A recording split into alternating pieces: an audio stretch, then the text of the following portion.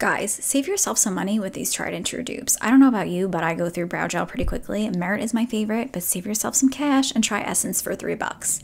Essence has a smaller wand for those of you with thinner brows too. Charlotte Tilbury Collagen Lip Bath is nice, but the NYX Lip Filler Instinct blows it out of the water. NYX makes my lips way bigger for a fraction of the price. Charlotte's wand has a super cute heart, but still not worth $35. Isn't it crazy how we spend $20 on a beauty blender sponge? Save yourself some cash and try out Araceli's version. They are the most similar sponge to Beauty Blender in terms of firmness and blendability. Flower Beauty is the supreme drugstore lipstick. It reminds me of MAC, but why not get two for the price of one? The best dupe, in my opinion, MAC lip liners are my favorite, but NYX is literally identical in terms of the application. Similar tones too.